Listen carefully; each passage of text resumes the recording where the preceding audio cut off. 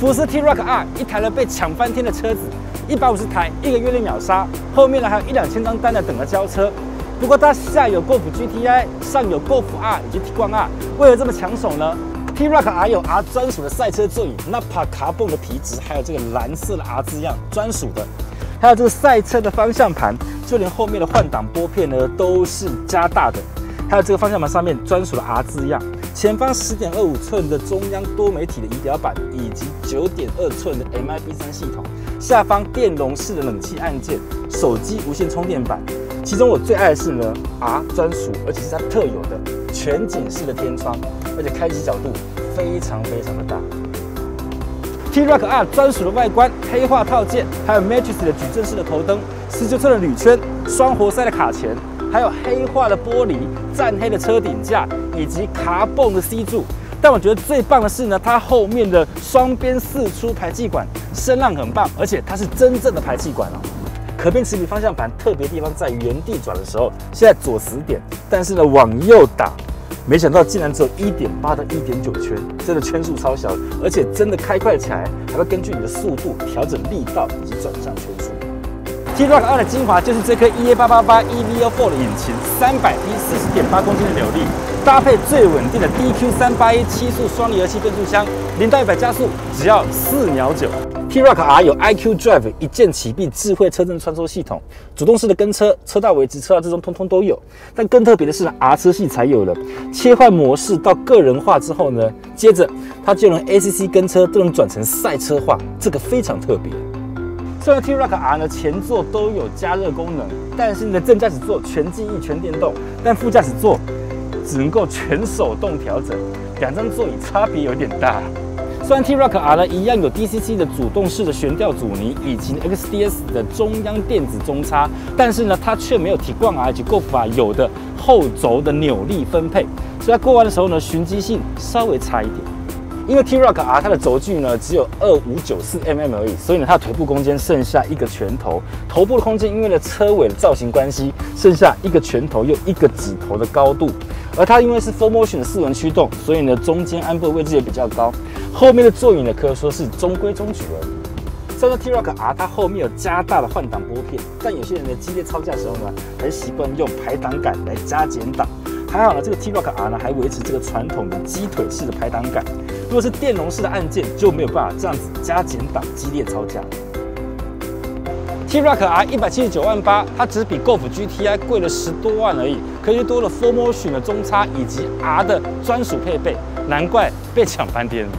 现在带大家看看呢，这个 T-Rock R R 车系呢，到底它的自动跟车有什么不一样？其中呢，它方向盘这边呢，除了说呢有个 R 按键可以快速进入赛车模式之外呢，旁边这一颗智慧车阵穿梭系统一样按下去之后呢，它一样会启动呢智慧跟车系统，也就是结合了这个 ACC 主动跟车全速域，还有包含了这个车道至中、车道维持等等的 ACC 设定成为赛车。哇塞，它那个前车离开，它的加速是非常的猛烈。ACC 它有赛车模式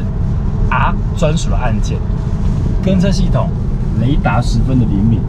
赞，我觉得这个福斯车系的智慧车阵穿梭系统，唯一的缺点就是呢，你看这个荧幕里面显示的这一个对向车呢，还是一台 Golf 七点五哈，这个是呢小小的缺憾。如果说呢，这个 T-Roc 可以把这里面的跟车的对向车也变成最新的 Golf 八的话呢，相对会比较符合现在二零二二年这个时代，你说对不对啊？如果你想买 T 冠 R。但我觉得呢，轴距的差别，这个 T-Rock R 呢，它的轴距哦，二五九四，其实让它转弯起来呢是相对的很灵活的，所以我觉得 T 冠 R 开起来像在开修旅车，但是呢 T-Rock R 本身呢开起来就像在开一个掀背车的感觉，真的会不自觉的让你越开越快，踩刹车，好，把车丢进去，哦。过刚刚这样极限状态之下呢，我觉得哈，它的电控的安全防护还是有点太大。像刚刚这样子，急弯车拉进去，其他的 ESP 全部的防滑都打开，把你的车拉回来。哦，这个介入呢有点早。好，介入了有点早。如果能够介入晚一点的话呢，相对之下呢，能够更更让这个开车人呢放开手去，好好的感受它的冲劲。EA 八八八 EVO 四的这个三百匹四十点八公斤扭力的引擎，以及这个 DQ 三八一，我觉得呢，它的推进力道真的很棒。就像刚刚讲了，六千转以上，哦，非常棒，真的是能够感觉得到它零到一百加速四秒九的一个感觉。而至于它的转向的部分呢，它呢有搭载原厂就有 XDS 的中央差速器。好，而且 DCC 的这个赛车级的阻尼呢，我觉得它侧倾的感觉也没有很明显。也就是说呢，真的是四轮驱动，哦，逢弯杀弯，它的推头感觉也没有那么明显。但是当你在出油出弯的补油门下去的一瞬间呢，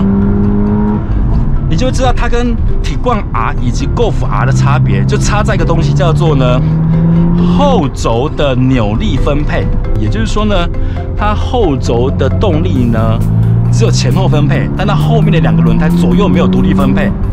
这样子呢会让你呢少了一点点的出弯的力道，尤其像这样子长弯补油门，其实呢你会觉得如果一补的话呢，它会推头，它的这个所谓的可变齿比的电子方向盘呢，路面的回馈讯息相对还是有点太少。而且我觉得，就算它有这个所谓的动态齿比转向的，而且力道会改变，但我觉得呢，它的转向力道还是有点轻。有时候呢，如果说你习惯开那种传统的液压方向盘的话呢，你就知道我在讲什么的。修理车中的跑车，跑车中的修理车，让你不用说呢，哇，男生呐喜欢跑车，买那台跑车还要另外买一台修理车，不用，这个一车两用，就看你这个模式怎么调整。哦，所以这个车我觉得难怪卖翻天了。当然现在呢，这个车唯一的问题是呢，现在如果去订车，大概什么时候会交车啊？这是一个蛮大的问题，因为太抢手，甚至呢抢手程度呢，比起了 Golf Variant R 还要抢手哎，这也让原厂相当意外，一百五十台一个月内秒杀，最顶级的豪车试驾，Quattro 四轮驱动。真的，就算是这么湿滑的路面啊，四百匹啊，五十一公斤的扭力啊，开起来其实真的没在怕的。最热门的新车尝鲜，哎，没有在客气的，它真的就直接甩尾了，踩油门，它直接进入甩尾模式，再踩，很灵敏。最实用的空间展示。这么拉起来不费力的，这边哇，超级深的置物空间，它的真正的 A 柱呢是这一根。每周一、周五晚间九点，别忘了 YT 搜索中天车享家。每周三套灯到这里店，猪猪哥来聊车陪你一起来直播，更别忘了帮我们按赞、点阅、分享、开启小铃铛哦。